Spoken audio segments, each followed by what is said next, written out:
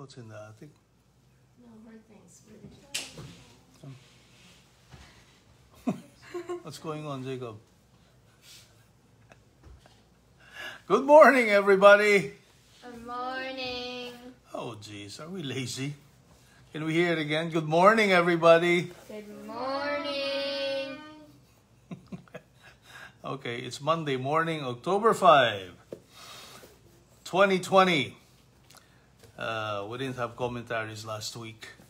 Um, what happened last week? So many things happened last week. We didn't have commentaries. Anyway, huh? What's that?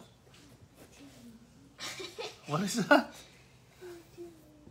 I was too lazy? okay. anyway, so today, the start of the week, Monday, um,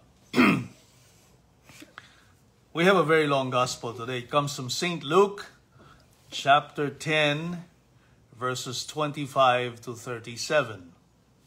Okay, it's a long gospel, so we'll uh, we'll not read the whole thing, but we'll just describe what, what happened here. Okay. So there was this scholar of a law of the law, possibly a Pharisee or a, a scribe or you know somebody who is steeped into studying the uh, the law. Okay, what is the law? We're going to talk about it. What what what does what does it mean here? What is, what's it all about? So, you know, in the Jewish tradition, they they study the, the Old Testament. They that's their school, right?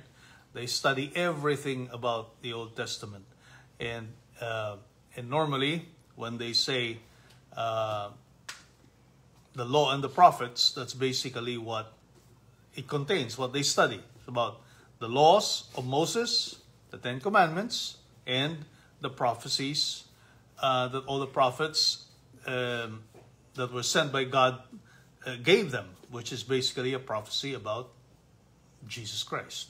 Okay?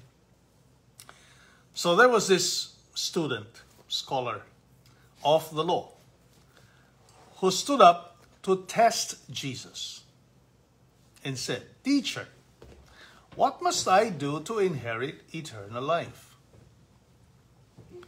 What must I do to inherit eternal life? Now, Jesus knew that he was a scholar of the law. So the obvious question to him is, well, what is it that your studies tell you? What, what is written in the law?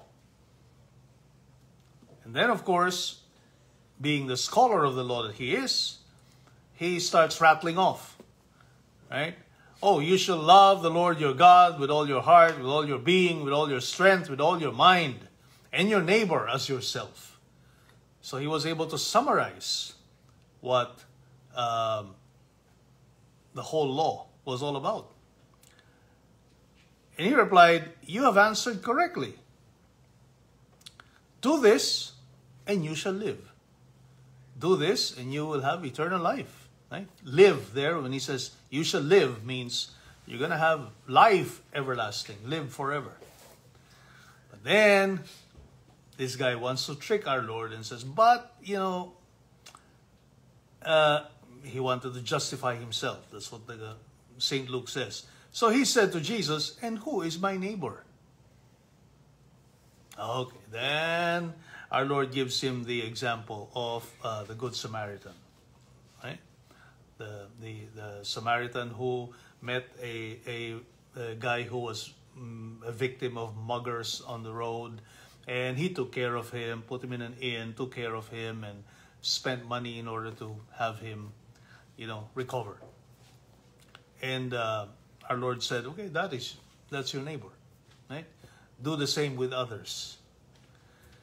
Okay, but let's explain this whole story and parable and so that we understand what it might mean for us. So, why do you think did our Lord say or question this scholar and say, well, what does the law say? What do you read? Okay. What is the significance of that kind of a question from our Lord? What does the law say? What do you read in law about how you will have eternal life, how you're going to live forever in heaven, how you're going to merit heaven. Okay, the explanation is this. The so-called law, which for us we know as, you know, the Ten Commandments, right? The laws of God that He has given to Moses. The laws of God are the standards by which we need to abide by and align our life to so that we can go to heaven. So these are the rules, the regulations, the instruction manual, so to speak, that God has given us.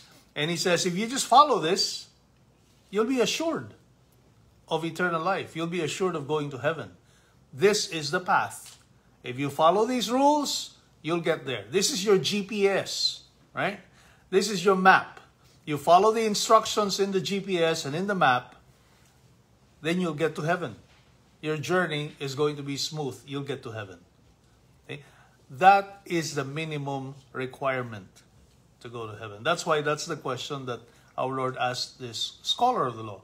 What does the law say? What's written there? Say, okay, you, you, you know it very well. Okay, so follow it. Follow it and you'll be okay. Right? That's the minimum. Now,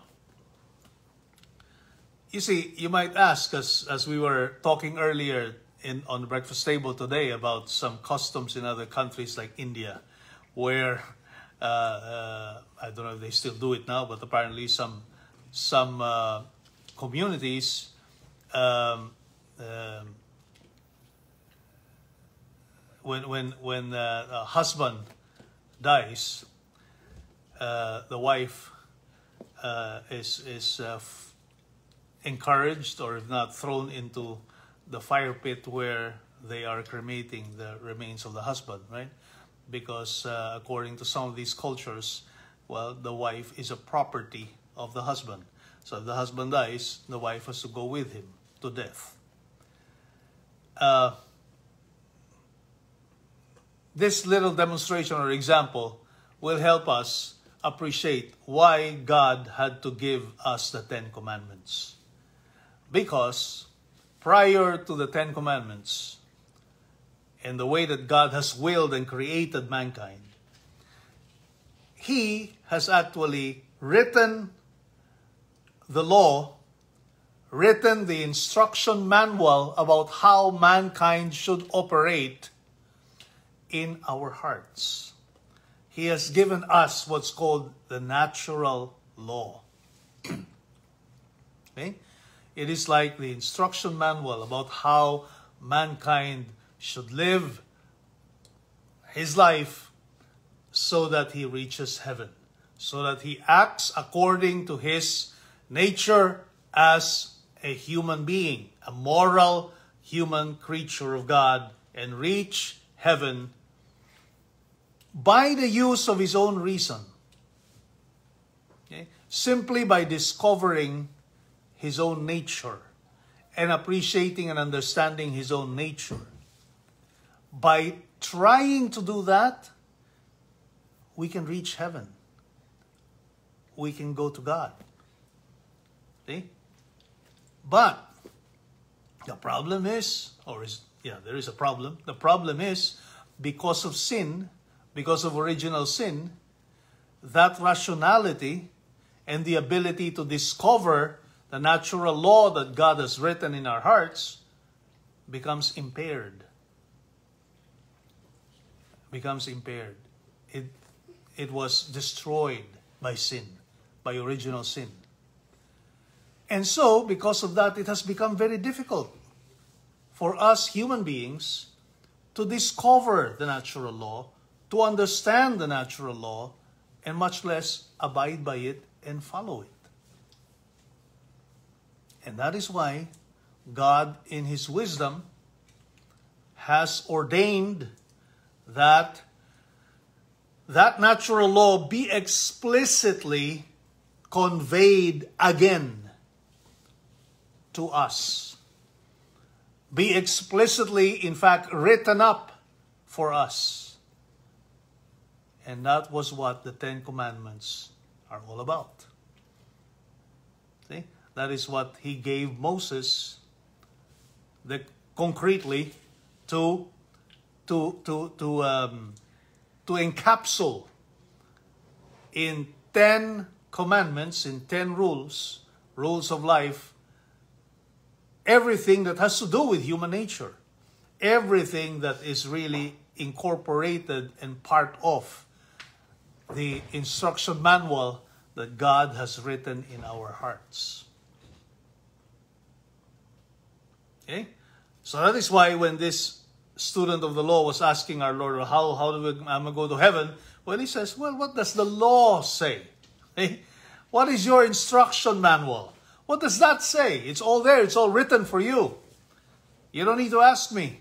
If you are really a, a scholar of the law, all you need to do is, list, is, is go back to that instruction manual, go back to the law, and you're going to find uh, the, the, the, the instructions of how you're going to heaven. Right? And it was summarized in this format. Love God above all things, with all your heart, with all your being, with all your strength, with all your mind, and love your neighbor as yourself. See? So that is the summary of what is written in the law. Okay? So let's let's uh, let's appreciate this. Let's understand it. That you see, uh, uh, following rules, following the commandments, following uh, the moral precepts that the church is asking us to follow, is really something that is not an imposition on us. Okay? It's actually already written there in our hearts. It's already actually really part of who we are. Okay? And which we have to be able to discover on our own. But because our reasoning can be impaired, well, God found it expedient and necessary to write this up, to actually make it explicit for us, so that we don't even have to guess. We don't even have to wonder anymore. It's all written up. Follow the commandments. Follow what our Lord has explicitly handed down to us to be our guide, to be our moral compass in reaching heaven. But I want to point out also, besides this, the last part of this commandment love your neighbor as yourself. Love your neighbor as yourself. Because sometimes it might be easy to comply with the first part, loving God, right? And a lot of people would proclaim love for God. And they love God with all their strength, with all their mind, with all their heart, with their, with their whole being. But when it comes to loving their neighbor, oh, wait a minute. when it comes to loving their neighbor, they start becoming choosy. They start becoming picky. They tend to love only those who love them back. And what did our Lord say? Well, even sinners do that. Right? If you only do good to those who do good to you, even sinners do that. Even the pagans do that. If you only love the people who love you in return, well, even the sinners do that.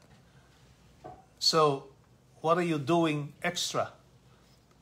How are you distinguishing yourself from those who uh, do only good for others because those others do good for them? Well, you know the distinguishing factor is this. If you know how to love other people the way you love yourself. Why does our Lord give us that standard? That you should love other people the way you love yourself, regardless of who these other people are, regardless of their race, their color, their creed, their their their their inclinations in life, their profession, their whatever it is. You have to love other people, and that means all, everybody, the way you love yourself. That's a very tall order and a tough standard to follow. Why? Because we normally love ourselves too much. Right? We love ourselves too much. We, we, we, we don't like any harm to happen to ourselves. We don't like any uh, bad thing to happen to ourselves. We always want the best thing for ourselves. We always want the most pleasurable, comfortable thing for ourselves. And so our Lord tells us, okay, is that what you like for yourself? Now you do that to others as well. You do it for others. And that is the best proof that you really love me. If you can love other people the way you love yourself, that is the proof that you really love me. Because as our Lord said, if you cannot if you cannot love the things the ones that you see, how can you say that you love the one you do not see? Right? We do not see God. God is not physically present among us. We love Him and know Him in a supernatural way. But you see, we are creatures made out of flesh and blood. We are material beings. So our Lord uses our neighbors as the standard for our love for God. He says, if you can love your neighbor the way you love yourselves, then that is a good indication that you, you really love God. Okay? A good indication you really love God. So, you know, let's ask ourselves that question all the time. And every time we we we have an opportunity to serve others, to do good to others, to be of service to them, to, to lighten their burdens, to help them in, in, in, in things that they, that they do every day. Let's ask ourselves that question. Am I, can I go out of my way to be of service to my neighbor, to my brother, to my sister? Because by doing so, I am loving God. And if I cannot do that, then I really don't love God. Okay? If I cannot do something for my brother, for my sister, for my neighbor, if I'm not willing to serve, I really do not love God. So that has to give us pause and that has to make us stop and think. You know? I, I, I cannot say I love God if I cannot even help my my brother or my sister with things that they need from they need help in. If I cannot if I cannot go out of my way to serve others even if they don't ask me to. See? If I only want to sit back and be comfortable with with, you know, uh, I'm just gonna scratch my belly here. I don't want to get involved with your mess. I don't want to do anything for you. Uh, that's your problem. I don't. Well, then I don't really love God. See, I don't really love God. We have to love God to the point where we're even willing to lay down our lives for the others. The same way that God, our Jesus Christ himself said, right?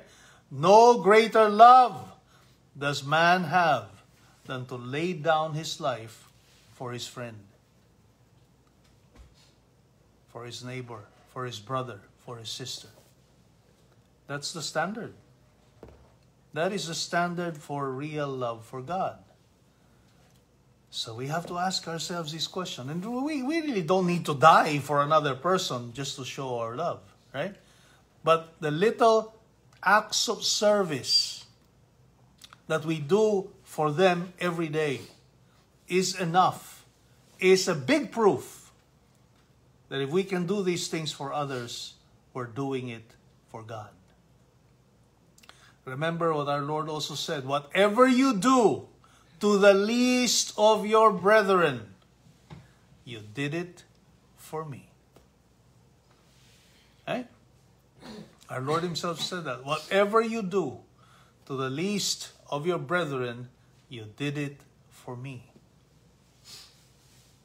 That is how to love our neighbor as we love ourselves. Okay, that's it for us, folks. Have a good day, everybody. Hope to see you again tomorrow and the rest of the week. Bye-bye. Bye. -bye. Bye.